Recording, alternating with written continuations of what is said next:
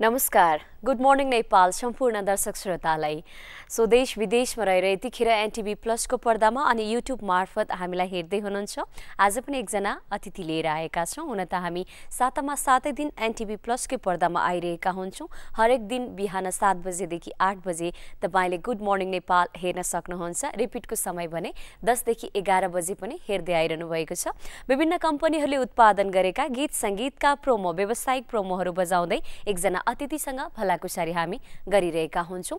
विशेष गरी यो कार्यक्रममा मनोरञ्जन विधामा लाग्नुभएका महा व्यक्तित्वहरू व्यक्तिहरू आउने गर्नुहुन्छ। स्रष्टा सर्जकहरूलाई पनि हामी निम्तो दिइरहेका हुन्छौँ भने बिल्कुलै नव प्रतिभाहरूलाई पनि हामीले स्थान दिइरहेका छौँ। गुड मर्निङ नेपालमा।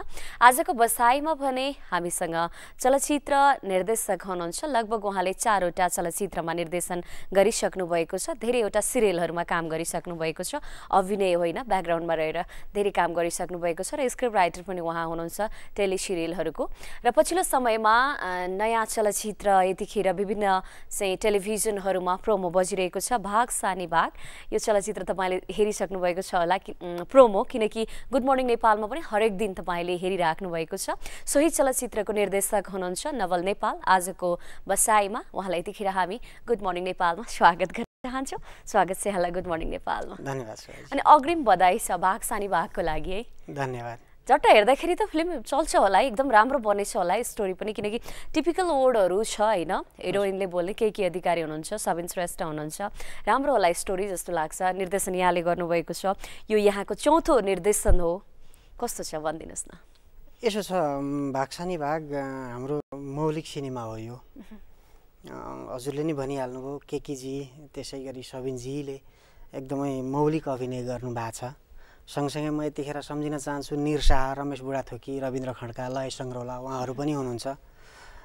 यसको पहिलो गीत तिमी भन दिउँसै चार तारा झारिदिन्छु। हामीले दसैँ ताका नै रिलिज गरेका थियौँ। त्यसले पनि चर्चा कमायो। पछि गएर हामीले दुई मिनटको ट्रेलर हामीले युट्युबमा समावेश गऱ्यौँ त्यसले पनि चर्चा कमायो। सायद हजुरले पनि हेरिसक्नु भयो होला। त्यसपछि आएर अहिले एउटा नयाँ गीत रिलिज भएको छ। यो के भएको भन्ने त्यसले पनि चर्चा गुमाएको छ। यो समग्र चर्चाको समीक्षा गर्नुपर्दा सायद हामीले मनदेखि सिनेमा बनाएका थियौँ। यसकारण पनि व्यावसायिक हिसाबले पनि र समीक्षागत हिसाबले पनि यो सिनेमा सफल हुन्छ भन्ने म आफूले ठानेको छु। योभन्दा अगाडिका चलचित्रहरू यहाँले निर्देशन गर्नुभएको श्रीमान महसुस लज्जा। हजुर। होइन? मलाई लाग्छ सर्वाधिक हिट यी तिन मध्ये चाहिँ लज्जा हो कि जस्तो लाग्छ। यो फिल्म मैले हेर्ने मौका पनि पाएको छु। अन्य चलचित्रहरूको चाहिँ नाम त्यति नसुनेको हो कि किनकि श्रीमान श्रीमती चलचित्र आयो होइन। अनि फेरि श्रीमान मात्रै आउँदाखेरि एउटै चलचित्र हो कि भन्ने पनि अलिकति कन्फ्युज पनि भयो दर्शकहरूलाई। पहिला श्रीमान सिनेमा चलेको थियो। श्रीमान श्रीमती ऋषि लामी छानेले निर्देशन गर्नुभएको थियो। उहाँ मेरो आदरणीय दाई पनि हुनुहुन्छ। यसो छ श्रीमान र श्रीमान श्रीमतीको आफ्नै विशेषता छ। श्रीमान श्रीमतीमा स्वर्गीय श्रीकृष्ण श्रेष्ठ श्वेता श्रेष्ठ लगायत धेरै कलाकारहरू नाम चलेका कलाकारहरू हुनुहुन्थ्यो। तर मेरो सिनेमामा बिल्कुलै लो प्रोफाइलका कलाकारहरू हुनुहुन्थ्यो। त्यसका बावजुद पनि श्रीमानमा मेरो कथा बलियो थियो। दर्शकहरूले त्यो समीक्षामा त्यो भन्नुभयो। कथा राम्रो थियो। लो प्रोफाइलको भन्नाले बिल्कुलै नयाँ कलाकारहरू हुनुहुन्थ्यो। होइन यसो थोरै लिने कलाकारहरू होइन नाइ नै त्यसरी होइन। भन्दा बढी चर्चामा नआउनु भएको कलाकारहरू हुनुहुन्थ्यो। पुष्पराज पुरुष कल्याण घिम्रे पूजना स्त्री हुन त पूजना स्त्रीको आफ्नै प्रोफाइल छ। तर त्यो कालखण्डसम्म उहाँ चाहिँ कस्तो भने श्रीकृष्ण श्रेष्ठ अथवा भनौँ न निरुता सिंहसँग दाँजेर त्यो स्थानमा उहाँहरू हुनुहुन्थेन। एक्ज्याक्टली त्यो कारणले पनि र श्रीमान बनाएँ श्रीमानको आफ्नै चाम थियो। पछि मैले महसुस बनाएँ आर्यन सिग्देल के के अधिकारी बेनिसा हमाललाई राखेर। त्यो सिनेमा समीक्षागत हिसाबले हल्ला धेरै भयो तर हलमा चाहिँ दर्शकहरू कम गए भन्ने सुनिन्थ्यो मलाई त्यस्तो लाग्दैन। किनभने म जहिले पनि ब्रह्मले बोल्ने मान्छे हो म झुटो कुरो गर्दिनँ। तर मेरो एउटा सिद्धान्त चाहिँ के छ भने भलै चार सय दर्शकहरू आउनुहोस् अथवा चारजना दर्शकहरू आउनुहोस् जसले हेर्नुहुन्छ उहाँहरूलाई बोर लागेन भने त्यतिखेर नवल नेपाल सफल हुन्छ। मलाई त्यस्तो लाग्छ। दर्शक धेरै चाहिएन थोरै दर्शकले मनोरञ्जन लिनु भए तापनि होइन? त्यो चलचित्रलाई सफल मान्नुहुन्छ तपाईँ। अपेक्षा त के हो भने सबैले हेरिदिनुहोस् मेरो सिनेमा। त्यसले कति व्यापार गर्यो कति व्यवसाय गर्यो त्यो अर्को कुरा हो। तर पनि सबैले मेरो सिनेमा मेरो सृजना मेरो साहित्यलाई पढिदिनु भयो हेरिदिनु भयो भने त्यतिखेर म धेरै खुसी भएको हुन्छु। तथापि जतिजना दर्शकहरू आउनुहुन्छ त्यसमा म सन्तुष्टि हुन्छु। अब लज्जाकै कुरा गरौँ होइन? हाम्रो शिल्पाजीको डेब्यू फिल्म थियो यो। यसमा सबै पक्षहरू एकदमै राम्रा छन्। हुन त चोरी त भइ नै हाल्छ होइन? जुनसुकै फिल्ममा नै केही न केही चोरी त भइरहेका हुन्छन् नक्कल भइरहेका हुन्छन्। अब भिडियोहरूमा पनि नक्कल भइरहेका छन् होइन? त्यसलाई ठुलो इस्यु नबनाऊ हामीले। चलचित्रमा चाहिँ कस्तो चाहिँ स्टोरी छ कसरी चाहिँ प्रस्तुत गरिएको छ निर्देशनले कस्तो निर्देशन गर्नुभएको छ स्टोरी कतापट्टि ढल्केको छ त्यो चाहिँ हामी विशेष ख्याल गर्छौँ। हिरो हिरोइनले चाहिँ कतिको न्याय गर्नुभएको छ होइन? सबै कलाकारहरूले। एकदमै राम्रो गर्नुभएको छ निर्देशन यसमा। यो यसलाई सफल चलचित्र पनि हामीले मानेका छौँ सबैजनाले मानेका छौँ। यसपछि नै हिरोइनको पनि भाग्य खुलेको छ होइन? उज्जवल छ। देखिरहेका छौँ एकपछि अर्को गर्दै फिल्महरू आइरहेका छन्।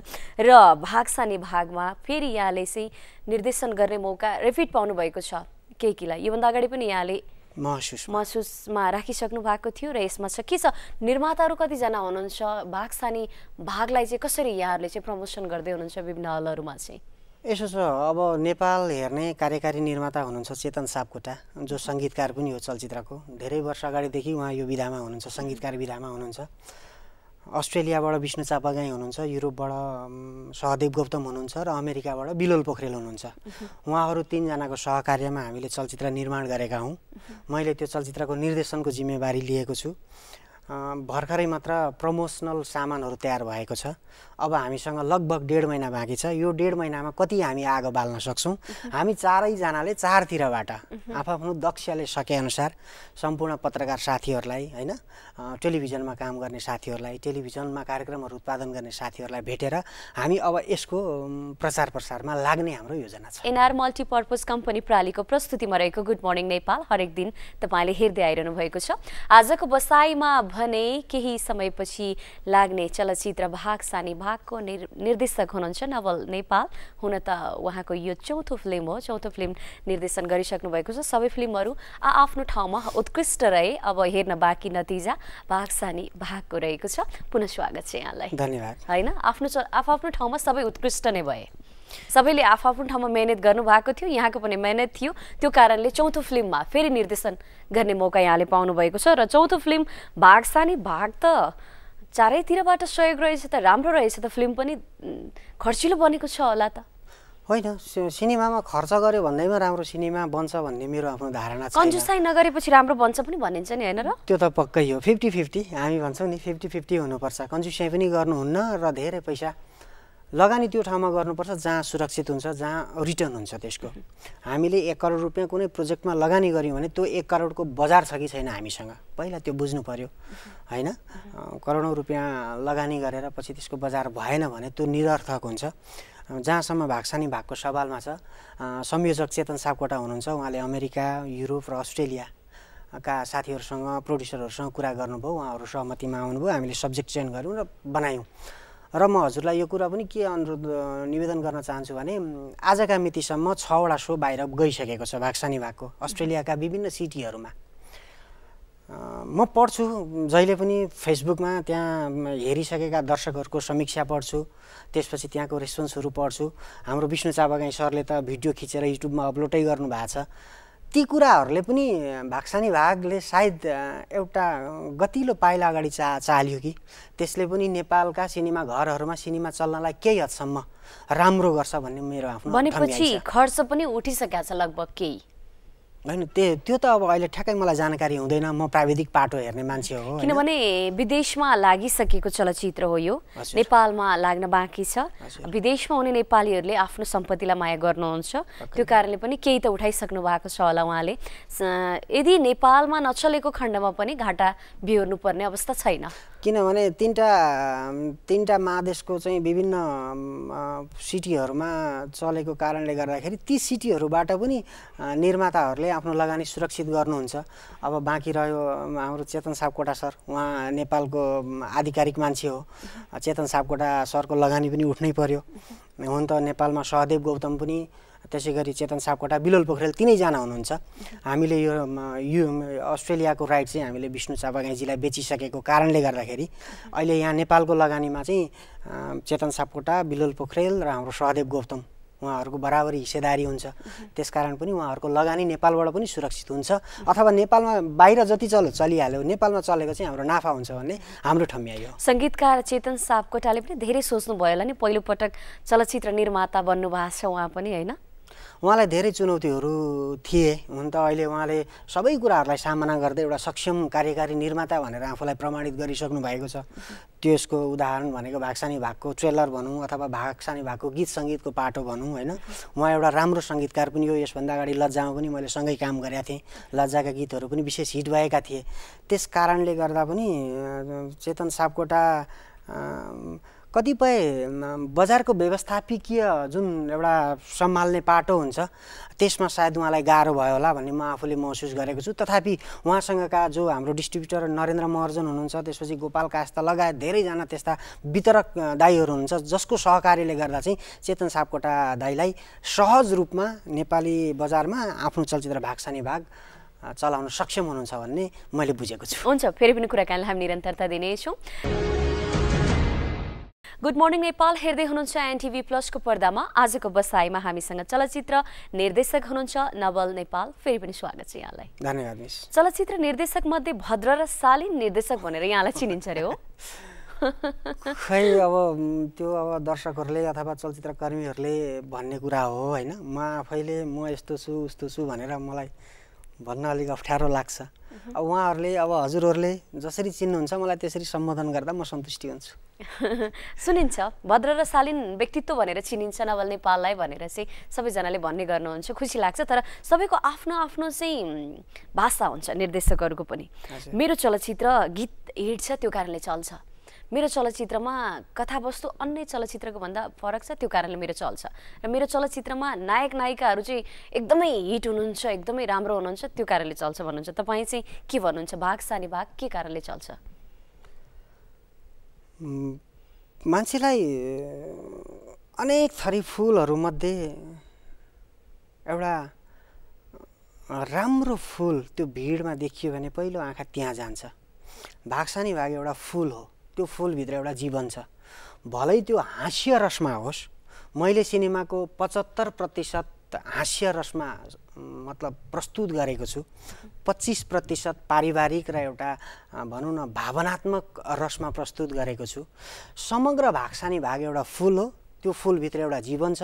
जो कोहीले पनि भलै त्यो हिरोले जस्तो सुकै डायलग बोलोस् हिरोइनले जस्तो सुकै कमेडी गरून् अथवा जो सुकैले जस्तो सुकै बोलोस् त्यो डाइलगमा अथवा संवादमा एउटा छ सिचुएसनमा जीवन छ। त्यसकारण भागसानी भाग फुल सँगसँगैको एउटा जीवन हो। म त्यसरी चिन्छु त्यसलाई। कार्यक्रमको अन्त्यमा छौँ। खुसी लाग्यो। धेरै पछि यहाँसँग भेटघाट गर्ने अवसर पायौँ। यहाँको यहाँले निर्देशन गर्नुभएको चलचित्र भाग सानी भाग चैतमा लाग्दैछ होइन? कति गते लाग्दैछ? चैत्र पाँच गते। पाँच गते नै लाग्दैछ। अरू फिल्महरू पनि जुधेका छन्? हुनुहुन्छ साथीहरू हुनुहुन्छ होइन? अब यसो छ। जुझ्न नपर्ने हो। तर अहिलेको कन्डिसन के छ भने एउटा डेटमा दुईवटा अथवा तिनवटा सिनेमा नआइकन हुँदैन। त्यो हाम्रो बाध्यता हो। त्यस कारणले पनि हामीले ती कुराहरूलाई पनि हामीले उ गर्नै पर्छ होइन त्यो एउटा जुझ्नु नराम्रो हो तर जुधि त हाल्यो। के गर्ने होइन? मिसले बोलाउनु कार्यक्रमको अन्त्यमा छ के भन्नुहुन्छ दर्शक श्रोतालाई यस चलचित्र बारेमा? हिजोका दिनमा जसरी नवल नेपालका सिनेमाहरूलाई सम्मान गर्नुभयो त्यसको ऋणी छु म। उहाँहरूले मेरो सिनेमाहरूलाई मन पराइदिनु भयो त्यसको ऋणी छु म।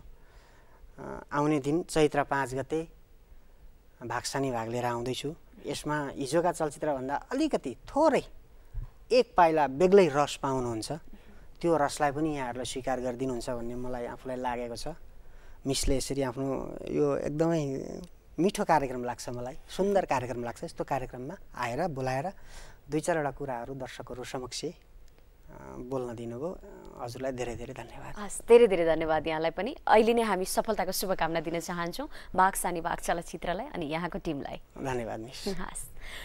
गुड मर्निङ नेपालमा आजको बसाइमा हामीसँग हुनुहुन्थ्यो चलचित्र निर्देशक हुनुहुन्थ्यो नवल नेपाल। उहाँसँगको कुराकानीसँगै आजको बसाइ यति नै आउनेछु भोलि फेरि एकजना अतिथि लिएर गुड मर्निङ नेपालमा। आजलाई भने आज्ञा दिनुहोला। बाँकी पल यहाँहरूको शुभ रहन्। नमस्कार।